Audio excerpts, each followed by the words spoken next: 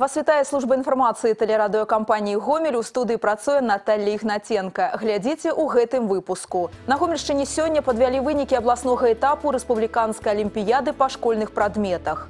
Сёння ў Беларусі азначаюць стары новы год. І больш падрабязна аб гэтым і не толькі. Абласная падатковая інспекцыя падвяла вынікі фінансавага года. У 2016 у кансалідаваны бюджэт гомельскай вобласці паступіў 1 мільярд 900 мільёнаў рублёў. Традыцыйная львіная доля належыць прадпрыемствам дзяржсектара эканомікі 70%. Уклад прыватнага бізнесу чвэрць ад агульнай сумы. Начальнік абласной падатковай інспекцыі Уладзімир Дзявойна наведаў паспяховыя прыватныя прадпрыемствы, якія працуюць у гомельскім раёне. Адно з прадпрыемстваў займаецца вытворчасцю прадуктаў харчавання. Лаваш з гомельскага раёна ведаюць па ўсёй Беларусі. На другім прадпрыемстве зарабляюць на смецці, а дакладней на яго перапрацоўцы. Зараз тут пераўтвараюць у прадукцыю і прадаюць больш за 80 відаў прамысловых і бытавых адходаў. Гэта выгадна як з эканамічнага, так і з экалагічнага пункту гледжання. Сакрэт паспяховай працы прадпрыемства просты. Надо любить свою работу. Больше всего. Если любишь работу, у тебя все всегда получается. Это самый главный залог успеха любого предприятия. Стымуляваць прадпрымальніцкую дзейнасць у сельскай мясцовасці і малых населеных пунктах і гарадах прызваны дэкрэт прэзідэнта Беларусі нумар 6. У гомельскай вобласці льготамі, якія дае гэты дакумент, карыстаюцца амаль 360 прадпрыемстваў індывідуальных прадпрымальнікаў, якія займаюцца вытворчасцю ці аказаннем паслуг. Сумма льготы э, которая была предоставлена этим предприятиям по шестому декрету, то есть это те деньги, которые предприятия могли направить на расширение своего производства, в целом по области за 2016 год составила более 1 миллиона рублей.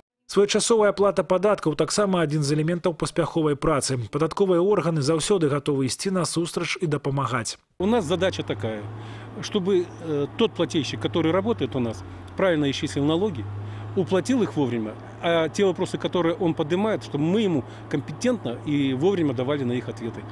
Э, Тогда у него не будет нарушения налогового законодательства, тогда он не будет э, платить экономические санкции, не будет привлекаться к административной ответственности. А раз у него нет нарушений, все, что он зарабатывает, он направляет себе на расширение производства. У 2016 годзе ў гомельскай вобласці амаль паўмільёна плательшчыкаў удзельнічалі ў фарміраванні доходаў бюджэта. Сярод іх 19 тысяч арганізацый, 27 тысяч індывідуальных прадпрымальнікаў, астатнія фізічныя асобы. Па выніках мінулага года забяспечаны тэмпы росту паступленняў у фактычных цэнах ва ўсе ўзроўні бюджэту. Максім Савін, Михаил Рабкоў, тэлерадыёкампанія Гомель. Алімпіядны тыдзень падышоў да заканчэння. Названы пераможцы абласнога этапу рэспубліканскай алімпіяды па вучэбных прадметах. На працягу 5 дзён на 11 пляцоўках Гомеля і Жлобіна больш за 1200 навучэнцаў з усяго рэгіёна вызначалі лепшага ў інтэлектуальным спаборніцтве. Алімпіяда праводзіцца па 17 вучэбных прадметах. Пераможцы ва ўрачыстай абстаноўцы атрымалі заслужаныя дыпломы. Аднак галоўная ўзнагарода права прыняць удзел у заключным рэспубліканскім этапе алімпіяды Алімпіяды. Па кожным прадмеце ў зборную рэгіёна трапіць па 5 навучэнцаў. Часу на адпачынак нямнога. Фінальны этап рэспубліканскай алімпіяды адбудзецца напрыканцы сакавіка. Так што ўжо хутка трэба пачынаць рыхтавацца. Трэба гатавацца. У прошлым годзе я таксама была удзельнікам рэспубліканскай алімпіядзе алімпіяды ўжо ведаю, што гэта таму трэба добра рыхтавацца, нешта падвучыць. Дарэчы, фінальны этап рэспубліканскай алімпіяды па беларускай мове і літаратуры адбудзецца ў гомелі. Заўтра працягнуць сваю работу прамыя тэлефонныя лініі мясцовых органаў улады. Жыхары рэгіёна змогуць звярнуцца з пытаннямі да намесніка старшыні гомельскага аблвыканкама Владзіміра Владзіміровича Гарбачова. Званкі прымаюцца па нумары тэлефона ў гомелі 75 12 37 з 9 гадзін раніцы і да 12. У гэты ж час на пытанні гамельчан адкажа намеснік старшыні гарвыканкама Сергей Анатольевич Радзюк. Нумар тэлефона 75 18 54. Сёння ў Беларусі азначаюць стары новы год. Гэтае свята рэдкі гістарычны феномен, які з'явіўся па прычыне змены летазлічэння. Адна з галоўных старажытных традыцый калядкі, якія таксама ўзніклі як унікальны культурны сінтэз язычніцкіх і хрысціянскіх традыцый. На гомельшчыне найбольш яскрава і масава гэты абрад праходзіць у малых гарадах і вёсках.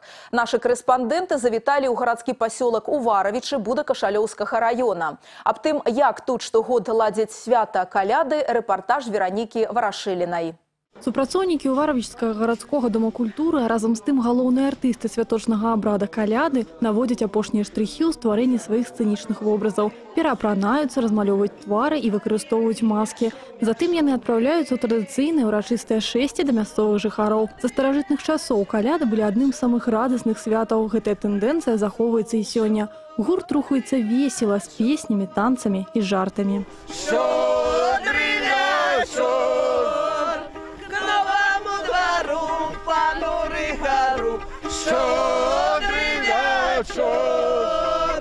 У гарадскім пасёлку Уваравіча Будакашалёўскага района абрад каляды штогод праводзяць у стары новы год маштабна і відовішна.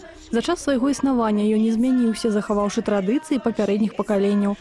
Галоўны дзеючы персанаж каза як сімвал плодавітасці і дабрабыту. Да таго ж лічыцца, што гэтая жывёла адганяе нячыстую сілу. Жывой казой хадзіць нязручна, таму яе ролю звычайна выконвае перапрануты чалавек. Калядоўшчыкаў гаспадары дома заўсёды застракаюць гасціна. Гэта залог таго, што будучы год будзе ўдалым. Прымаюць іх з вялікай радасцю і шчодра адорваюць рознымі пачастункамі. Двери уже на щедрый никогда не закрываются. Всем гостям рады.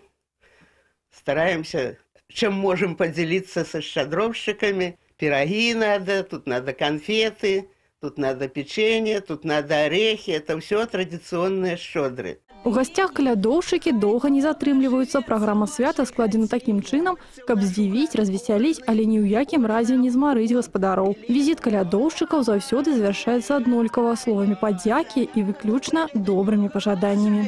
Живи в роскоши, маю сяго даволі, а беды ніколі. Старый год кончаем, а новый починаем. Да правядзення святочнага абрада каляды далучаецца і падрастаючае пакаленне. У мясцовай школе дзецям наглядна паказваюць, з якімі песнямі, танцамі і жартамі трэба, як кажуць у народзе, шчадраваць. Падобныя майстар-класы заўсёды ладзяцца ў атмасферы вясёлага і добрага настрою. А им тоже интересно это, потому что они вспоминают, как они маленькие ходили, калядовали, какие песни пели. Им сейчас интересно пройти уже э, повзрослее, уже с новыми песнями и показать себя, какие они.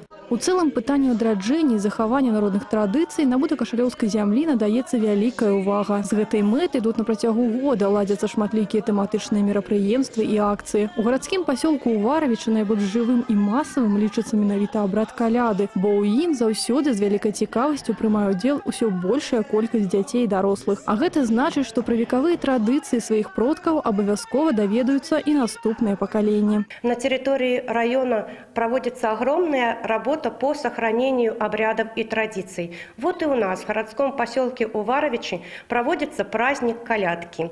В организации праздника принимают участие уч- все учреждения организации, расположенные на территории сельсовета. Но самыми главными являются отдел культуры и э, учреждения образования. Ну и, конечно же, население, которое с нетерпением ждет проведения данного праздника, и двери их всегда открыты для щедриков. Вероніка Варашыліна, Еўген Макеенка, тэлерадыёкампанія Гомель з Будакашалёўскага района. Святочнае гулянне шчодры вечар добрым людзям пройдзе сёння на плошчы Леніна з 17 до 20 гадзін. Гамельчане змогуць убачыць прадстаўленне з песнямі, жартамі і народнымі гульнямі. У праграме вогненнае фаер-шоу, разнастайныя конкурсы, а таксама калядныя прызы і падарункі. А заўтра ў Гомелі азначаць сусветны дзень снегу. У зарэчнай зоне ракі Сош пройдуць спаборніцтвы па лыжным спорце сярод каманд сярэдняй спецыяльнай, прафесійна-тэхнічнай і вышэйшай адукацыі. Таксама запланавана правядзенне абласнога турніру гомельская лыжня 2017 у трох узроставых катэгорыях. Пастраенне ўдзельнікаў у 10.30, афіцыйная цырымонія адкрыцця ў 10.45. Вы глядзелі інфармацыйны выпуск тэлерадыёкампаніі Гомель. У студыі працавала Наталья Ігнатенка. Мы сочым з развіццём падзей у Гомелі ў вобласці. Заставайцеся з намі.